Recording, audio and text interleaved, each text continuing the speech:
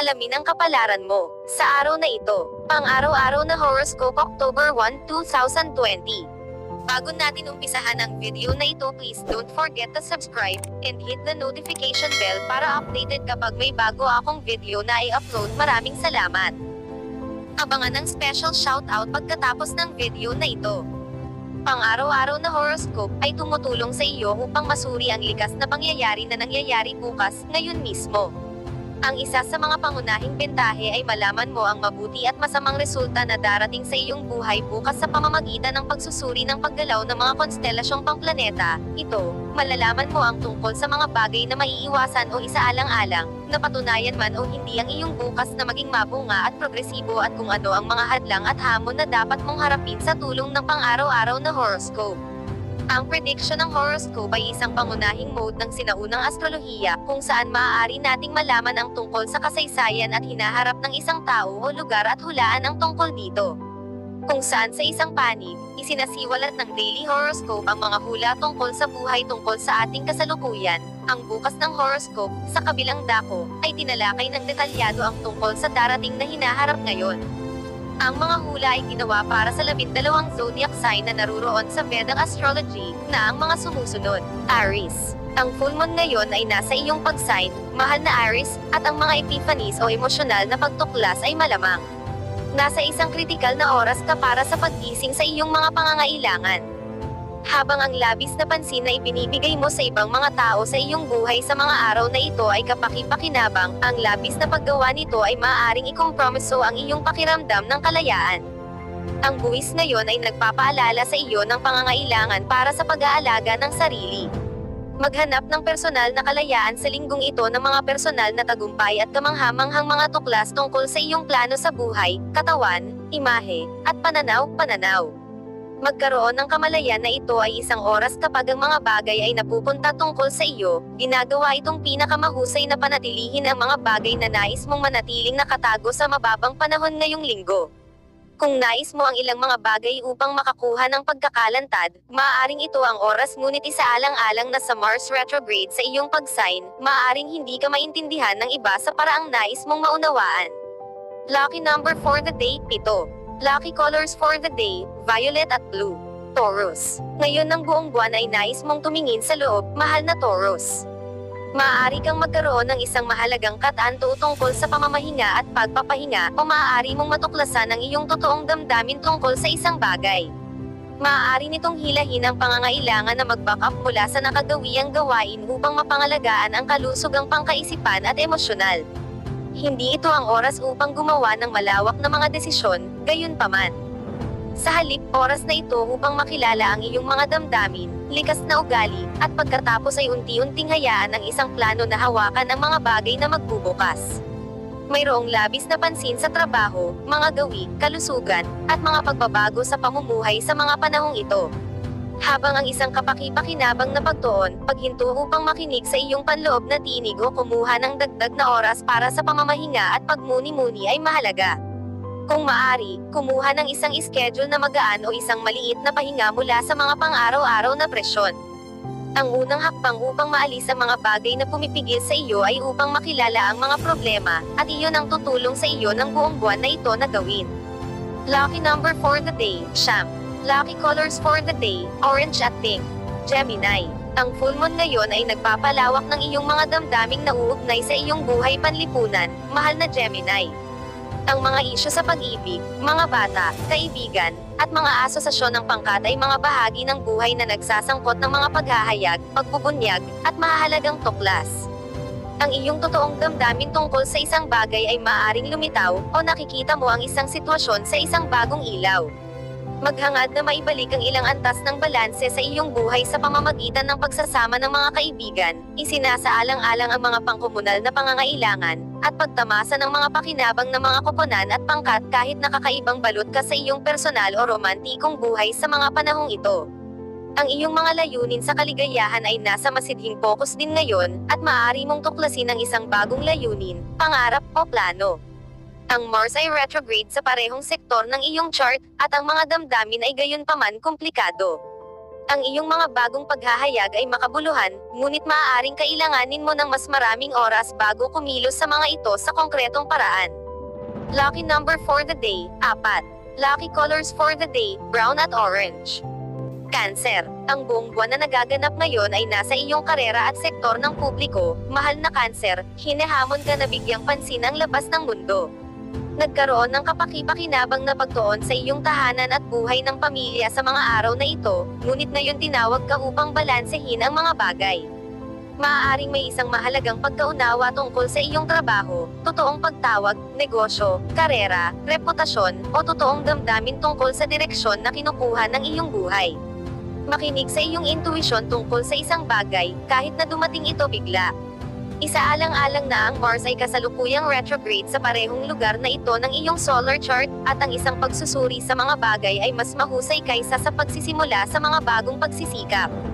Gayunpaman, ang iyong mga damdamin at napagtanto ay makabuluhan, kahit na ang pag-arte sa mga ito ay nangangailangan ng oras. Ang isang gantimpala, award, o paghantong ng isang proyekto ay maaaring maghatid upang hilahin ka mula sa iyong shell. Lucky number for the day, tatlo. Lucky colors for the day, black at blue. Leo, ang full moon ngayon ay nangyayari sa iyong solar ikasyam na bahay, mahal na Leo, at maaari nitong hikayatin ang pangangailangan para sa isang pagbabago ng tulen o tanawin. Ang pagsasakatuparan na ito ay dumating sa isang oras kung saan nang ibabaw ang iyong pagtuon sa mga gawain, papeles, at pag-aaral. Ang buwan ng buwan ngayon ay nagpapaalala sa iyo na pagkainin ang iyong kaluluwa o matuto ng bago. Maaaring may isang bagay na naipublish na ipahayag o na promosyon, at maaari kang makaranas ng mga biglaang interes na haantong sa iyo sa isang bagong landas, o mag-uudyok sa iyo upang muling buhayin ang isang dating interes. Maging mapili tungkol sa kung ano ang iyong dadalhin ngayon, gayon paman, dahil ang Mars ay retrograde sa parehong lugar ng iyong solar chart at mga antas ng pagganyak ay hindi hanggang sa par para sa kasalukuyang oras. Ang full moon ngayon ay naghihikayat ng higit na pansin sa mas malawak na mga layunin. Pinupukaw nito ang iyong emosyon o binubuksan ang iyong mga mata sa pangangailangan na huminga ng sariwang hangin o isang pagbabago sa pananaw at huminto mula sa nakagawian. Maaari kang magkaroon ng pagnanasa na hilahin ang iyong ulo mula sa iyong mga libro at aparato sa isang bagong eksena o headbase. Lucky number for the day, 8. Lucky colors for the day, red at white. Virgo. Nakatayo ka upang malaman ang tungkol sa iyong damdamin ngayon, mahal na Virgo, partikular na nauugnay sa mga halaga, respeto, damdaming halaga, pera, mahahalagang bagay, negosyo, o personal na pag-aari. Jane Isang ka ng full moon ngayong araw sa kung ano ang gusto o kailangan. Maaari kang makakuha ng bagong impormasyon tungkol sa mga ipinahaging mapagkukunan o utang at pautang, o maaaring may isang nakakagulat na pagtuklas tungkol sa iyong damdamin para sa isang tao, o sa kanila para sa iyo. Ang baliw na ito ay maaari ring magdala ng isang pampinansyal o intimate na bagay sa isang turn point. Kung nakasalalay ka sa isang sitwasyon, tao, o nakagawian, oras na mapagtanto ang iyong pangangailangan na humiwalay. Sa pag-retrograde ng Mars sa kaparehong sektor ng iyong solar chart, maaaring may higit pa sa kwentong ito, ngunit ang mga kamalayan ngayon ay mahalaga sa pagbabago at pagpapabuti sa hinaharap. Tumutulong silang makuha ang bola na lumiligit sa madaling salita. Layunin na Eisenthrow ang iyong sarili, digest, at ay proseso sa halip na kumilos. Lucky number for the day, 4. Lucky colors for the day, maroon at pink. Libra, sa paglilipat ng araw ng iyong pag-sign sa mga araw na ito, mahal na Libra, ang iyong kalayaan at mga personal na pangangailangan ay mas malakas ang focus. Gayunpaman, ang full moon ngayon ay nagpapaalala sa iyo na kailangan mo ng iba upang maging pinakamahusay ka. Ang locus yung ito ay nagpapalawak ng iyong emosyon, lalo na tungkol sa iyong mga relasyon, at maaari mong matuklasan ang iyong mga damdamin sa isang bagay, o maaaring magkaroon ng isang bagay tungkol sa iyo. Maaari nitong hilahin ang mga nakabaon na usapin, na maaaring isiwalat ngunit iwasang mag-isip sa mga isyo na hindi mo pa mababago. Bigyang pansin, dahil maaaring may isang mahalagang pagsasakatuparan tungkol sa iyong mga damdamin para sa isang tao o tungkol sa isang partikular na pakikipagsosyo, ngunit maglaan ng iyong oras sa mga bagong pagsisikap o pagkilos. Ang mga layunin sa relasyon ay maaaring mga ilangan ng pagbabago. Malapit ka nang lumalapit sa iyong mga relasyon, kaya asahan ang iba't ibang mga resulta bilang isang kurso. Isaalang-alang na ang Mars ay retrograde sa iyong sektor ng pakikipagsosyo at ang pagsusuri ng iyong sitwasyon ay mahalaga bago ka magpatuloy na may higit na kumpiyansa. Lucky number for the day, isa. Lucky colors for the day, pink at gray. Scorpio. Ang full moon ngayon ay maaaring magdala ng iyong pansin sa mga deadline o pagpindot sa mga bagay na nauugnay sa trabaho o kalusugan. Mahal na Scorpio, dahil nangyayari ito sa iyong ika-anim na bahay sa solar. Ang Mars ay retrograde sa parehong sektor ng iyong solar chart na tumuturo sa pangangailangan na suriin ang mga kamakailan lamang o kasalukuyang diskarte at paghabol sa mga linya na ito. Sa ngayon, ginaisang mo ang pangangailangan na pagbutihin ang iyong balanse sa trabaho pahinga sa pamamagitan ng pagbibigay ng higit na pansin sa iyong pangangailangan para sa kaayusan sa iyong pang-araw-araw na buhay. Maaari kang makaranas ng ilang mga paghahayag tungkol sa iyong trabaho, gawi, o kalusugan at kalusugan ngayon. Pagod, mga lumang pamamaraan ay kailangang pumunta kung hindi sila gumagana para sa iyo. Ito na mga paraan upang mapagbuti ang iyong pagiging produktibo, dahil oras na upang sariwa ang iyong pang-araw-araw na buhay, marahil sa pamamagitan ng pagbabalik sa mga lumang programa na may bagong pag-ikot. Ang mga enerhiya ngayon ay kapaki-pakinabang din para sa pagkonekta sa isang makabuluhang iba pa. Lucky number for the day, 4. Lucky colors for the day, violet at blue. Sagittarius. Ang full moon ngayon ay nangyayari sa iyong sektor ng kagalakan, kasiyahan, pag-ibig, at pagkamalikhain, mahal na Sagittarius. Maaari itong mag-prompt ng isang mahalagang pagsasakatuparan tungkol sa isang pagmamahalan o proyekto ng alagang hayop.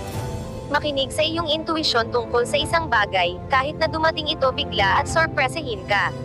Ang Mars ay retrograde sa parehong sektor ng iyong solar chart, at ang pagsusuri ng mga kamakailang pagpipilian o pagsusumikap ay tila mahalaga bago mo makuha ang iyong pagganyak. Ang malalaking damdamin at paghahayag ngayon ay maaaring makatulong sa iyo na makarating sa landas na iyon. Ang full moon ay maaari ring maghatid upang pukawin o magising ka sa iyong mga damdamin tungkol sa mga kaibigan o kasintahan. Nag-iilaw din ito sa iyong pangangailangan para sa malikhaing pagpapahayag ng sarili at kusang loob. Makinig sa iyong puso, ngunit gawin ang iyong oras bago tumalon sa pagkilos. Lucky number for the day, dalawa. Lucky colors for the day, black at green. Capricorn.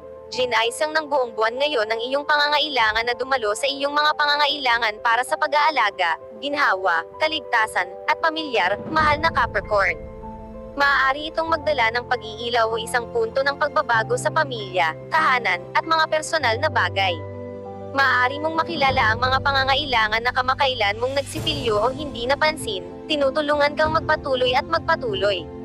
Ipagpalagay na nakatuon ka ng labis sa iyong mga responsibilidad sa karera at sa labas ng mundo. Sa kasong iyon, ang pangangailangan na makarating sa isang balanse na may higit na kalidad na pansin sa iyong personal na buhay ay maaaring maging maliwanag. Kung nasobrahan mo ng labis ang iyong sarili, kailangan mong maghanap ng mga paraan upang makakuha ng mas maraming downtime. Ang full moon na ito ay maaaring magsilbing isang paalala upang muling magkarga upang maibigay mo ang iba pang mga lugar sa iyong buhay na pinakamahusay. Maaari kang makinabang ng malaki mula sa paggawa ng nakahabol sa pamilya o sa iyong sariling puso. Lucky number for the day, dalawa. Lucky colors for the day, yellow at blue. Aquarius. Ang buong buwan ngayon ay maaaring mag-prompt ng isang mahalagang pagsasakatuparan tungkol sa iyong pang-araw-araw na gawain, kadaliang kumilos, pag-aaral, o pangkalahatang pananaw sa kaisipan at komunikasyon, mahal na Aquarius. Tinutulungan ka nitong palayain at linisin, at ang isang paghahayag tungkol sa iyong damdamin sa isang bagay ay maaaring magpasigla sa iyo. Ang baliw na ito ay nangyayari sa iyong sektor ng transportasyon at komunikasyon, at ang isang proyekto sa pagsulat o pag-aaral ay maaaring makomplito, o maaaring maging focus ng publisidad o promosyon. Subukang huwag maging masyadong nagmamadali kapwa sa iyong mga paggalaw at komunikasyon, dahil ang Mars ay retrograde sa parehong lugar ng iyong solar chart. Ang mga bagong pagsisikap ay maaaring hindi matalino sa ngayon lamang. Maaaring may higit pang mga pag-edit o pagsusuri na kinakailangan bago ka makarating doon, ngunit ang mga tuklas ngayon ay makakatulong sa iyo na makita ang tamang landas. Ang isang pagbabago ng mga plano o isang biglaang kamalayan sa isang natitirang usapin ay maaaring humantong sa isang pagtatalo ng aktibidad. Maaari mong pakiramdam ang isang malakas na pagnanais na maunawaan.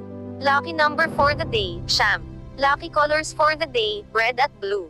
Pisces. Ang mga paghahayag ay maaaring mangyari ngayon dahil ang isang full moon ay nangyayari sa iyong solar pangalawang bahay ngayon, mahal na Pisces.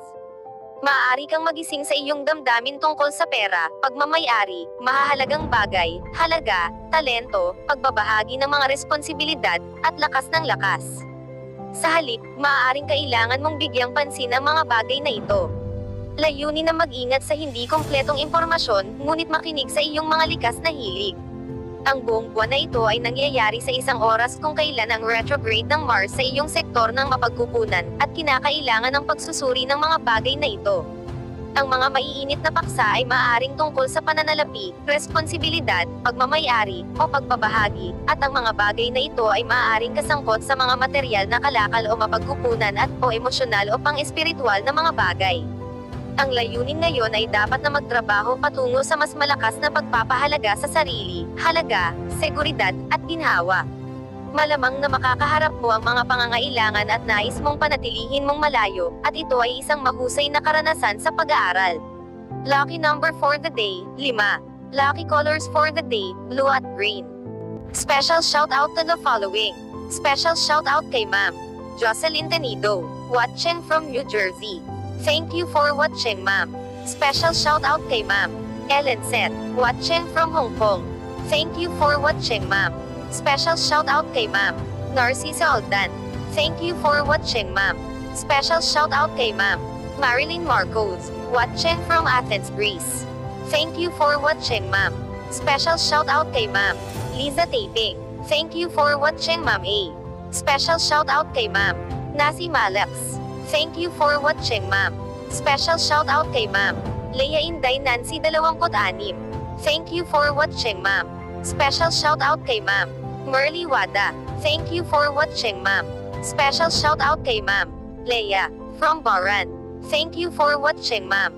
Special shout out kay ma'am. Jane Arakyang. Thank you for watching, ma'am. Special shout out kay ma'am. Fatima Bibi. Thank you for watching, ma'am. Special shout out kay ma'am. Seth Sueso. Thank you for watching, ma'am. Special shout out kay ma'am. Jaluwena Mayday Human. Thank you for watching, ma'am. Special shout out kay ma'am. Maribel Arga. Thank you for watching, ma'am. Special shout out kay ma'am. Weng, watching from Hong Kong. Thank you for watching, ma'am. Special shout out kay ma'am. Nali Quinto. Thank you for watching, ma'am. Special shout out kay ma'am. Desiree Tesoro. Thank you for watching, ma'am. Special shout out kay ma'am. Nera Sapila. Thank you for watching, ma'am. Special shout out kay ma'am. Beth Soriano. Thank you for watching, ma'am. Special shout out kay ma'am. Shirley Serato. Thank you for watching, ma'am. Special shout out kay ma'am. Melody Long. Thank you for watching, sir. Special shout out kay ma'am. Maria Fescudero. Thank you for watching, ma'am. Special shout out kay ma'am. Joan Cruz. Thank you for watching, ma'am. Special shout out kay ma'am. Virginia Nagit. Thank you for watching, ma'am. Kung gusto mong magpa-shoutout sa next video comment na. Maraming salamat sa panonood mga kapatid. Sanay nagustuhan nyo ang video na ito, please don't forget to subscribe and hit the notification bell para updated ka pag may bago akong video na i-upload. See you on my next video.